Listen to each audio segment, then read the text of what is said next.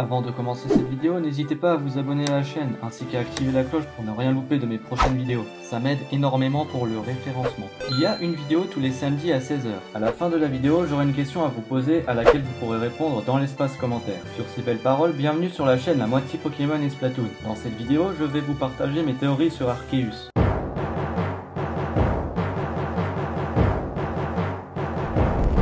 Bien avant d'entamer mes théories, il est important de savoir qui est Arceus. Arceus est un Pokémon de la quatrième génération dont on raconte qu'il est né à partir d'un œuf, et qu'ensuite ce dernier aurait créé le monde des Pokémon. Il est considéré comme le dieu des Pokémon dans la mythologie de Sinnoh.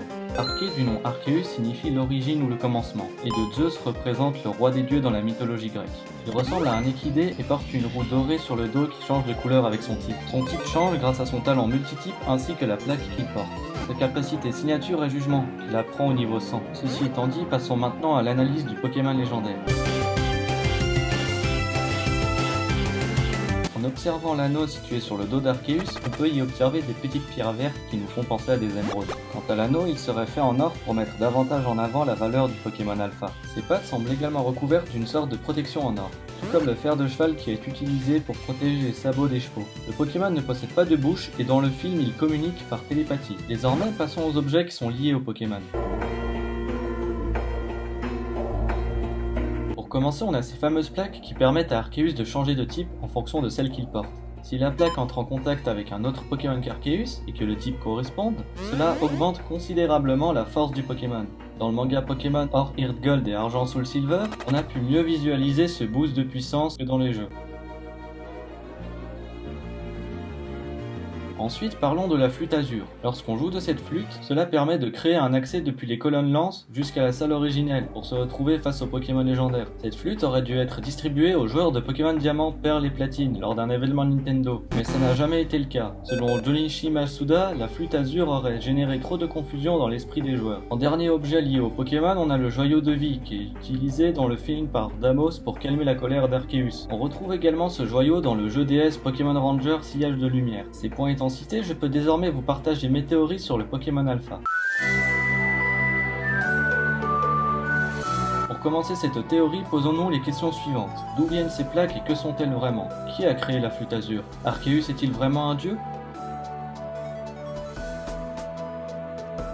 Plaques d'Arceus sont un concentré d'énergie de plusieurs attaques de Pokémon. Suite à cela, il y a une plaque pour chaque type. Elles sont compatibles avec Arceus tout comme les cristaux Z. Les cristaux Z sont des pierres spéciales qui permettent à un Pokémon de lancer une attaque dévastatrice. Ces cristaux viennent de la région d'Alola. Il y a donc un lien entre Arceus et le Pokémon Crisp Necrozma. La flûte azur aurait quant à elle été créée pour appeler Arceus en cas de grand danger sur la région de Sinnoh. Cette dernière a été créée par une ancienne civilisation tout comme le pointeau ADN de Curien. Il est fort possible que ce soit la civilisation ancienne de Sinnoh est créé, puisque c'est dans cette région qu'on la trouvera pour la première fois. Arceus est-il vraiment un dieu? Arceus n'est pas un dieu, en tout cas actuellement. Dans le film Arceus et le joyau de vie, il se fait ensevelir et défoncer par une météorite, puis attaqué par plusieurs Pokémon sans pouvoir réagir.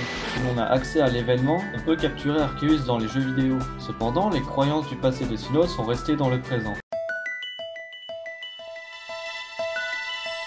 Peut donc supposer qu'Arceus était autrefois un Pokémon surpuissant, mais qu'il a perdu une grande partie de sa force, en donnant la vie à Palkia, Dialga et Giratina, en plus des trois cris, à savoir Créelf, Créfolet et Créfadet. Le Pokédex de Pokémon X et Pokémon Ruby Omega nous dit la mythologie de Sinnoh veut qu'il soit apparu sous forme d'œuf et ait créé le monde, tandis que le Pokédex de Pokémon Diamant nous raconte la mythologie le décrit comme le Pokémon qui a façonné l'univers avec ses mille bras. Le Pokédex de Pokémon Ranger Sillage de Lumière nous cite attaque en faisant tomber des météores, protège avec des orbes psychiques. En s'appuyant sur les descriptions de Pokémon X et Pokémon Ruby Omega, Arceus aurait donc perdu de sa puissance au cours du temps, tout en l'univers. Si l'on regarde la description de Pokémon Diamant qui nous cite ses 1000 bras, on y apprend que 1000 Pokémon l'ont aidé à créer le monde. Sauf que cette théorie tombe à l'eau, puisqu'on n'a pour l'instant pas eu d'aperçu sur autant de Pokémon possédant les mêmes caractéristiques qu'Arceus. La théorie la plus probable, c'est qu'Arceus avait une autre forme bien plus imposante qu'aujourd'hui. Malheureusement, Ultra Necrozma a absorbé l'énergie qu'utilisait Arceus, tout comme il absorbera plus tard la lumière de Lunala et Solgaleo dans la région d'Alola. C'est pour cette raison qu'Ultra Necrozma brille de la même manière que l'anneau d'Arceus.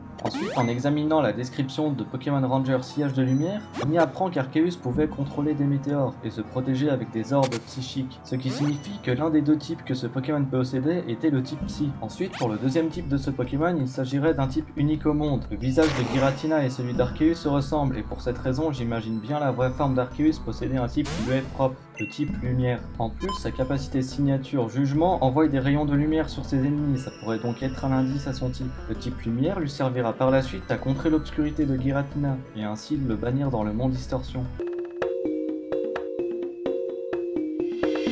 En conclusion, Arceus était autrefois un Pokémon surpuissant, mais la création du monde ainsi que son combat contre Necrozma et Giratina l'a totalement épuisé. Comme il possédait un type représentant plusieurs éléments, il décida de répartir son énergie dans des plaques à cause de son épuisement. Arceus était bel et bien un dieu, mais aujourd'hui, il est au même stade que les autres Pokémon légendaires. Cependant, malgré sa grande baisse de puissance, les croyances qu'avait le peuple de Sinnoh sur Arceus resteront dans le présent. Cette créature reste un grand mystère dans le monde des Pokémon. Nous aurons plus de réponses à son sujet dans Légende Pokémon Arceus.